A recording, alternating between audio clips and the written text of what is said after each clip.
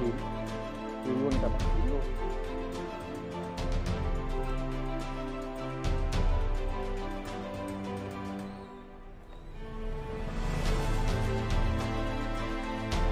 Con đi tập đi.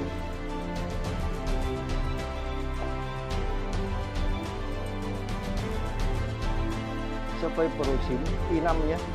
Con này ờ, giá đang quanh khoảng 20 củ chưa bao gồm ờ, nhiều phụ kiện gì đâu